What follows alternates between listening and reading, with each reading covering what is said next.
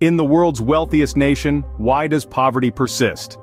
A paradox, isn't it? A nation known for its wealth and prosperity, the United States, yet harboring cities where the poverty level surpasses that of some African nations. It's a conundrum that beckons for deeper exploration and understanding. Let's delve into this enigma, beginning with the concept of relative poverty. It's not about the absolute lack of resources, instead it's about being significantly behind the average standard of living in a society. It's about not being able to afford what most consider necessary to lead a normal life.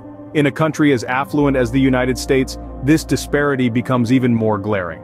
Now consider the federal poverty line, the official measure that defines the minimum amount of annual income needed to cover basic life necessities. In 2023, for a family of four, this line was drawn at around $26,000. But life's necessities aren't the same everywhere, are they? Living in New York City isn't the same as living in rural Wyoming. The cost of housing, healthcare, and even food varies significantly, yet the poverty line remains the same across the board, failing to capture these nuances. As we continue to navigate this labyrinth of wealth and poverty, we encounter a city that stands out. A city with the highest poverty rate in America. You might imagine it to be tucked away in some remote corner, hidden from sight. But no, it's right there under our noses in the heart of the nation. This city is a stark reminder of the paradox we are exploring a testament to the fact that even in the world's wealthiest nation, poverty persists. It's not about the lack of resources, but the distribution of those resources, the policies, the structures, the systems. As we peel back the layers, we find that the city with the highest poverty rate in America is not in a remote corner, but right under our noses. And that, folks, is the paradox of the wealthiest nation. To truly grasp the gravity of the situation, we need to delve into the numbers.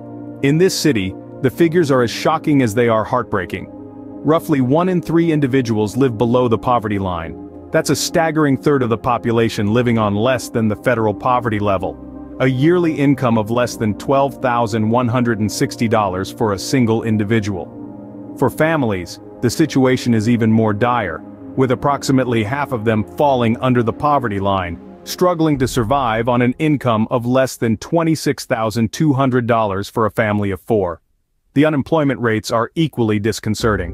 Where the national average hovers around 4% in this city, it's a whopping three times that, 12%. That's one in every eight people without a job. To put this into perspective, let's look at the comparative figures. The national average poverty rate in the United States is a little over 10%. In this city, it's three times that, now let's look at some African nations. In Kenya the poverty rate is 26%. In Nigeria it's 40%. This means that this city, right in the heart of America, is poorer than some African nations. Such extreme poverty doesn't just happen overnight, it's the result of a complex interplay of socio-economic factors. Lack of quality education is a significant contributor with over half the city's adults lacking a high school diploma.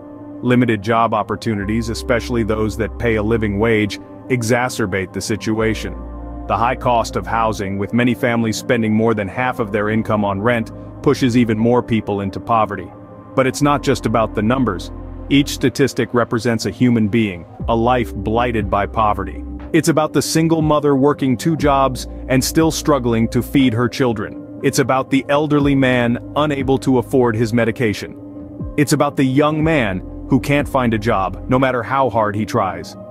The numbers reveal a stark reality, a city in the heart of America, poorer than some African nations.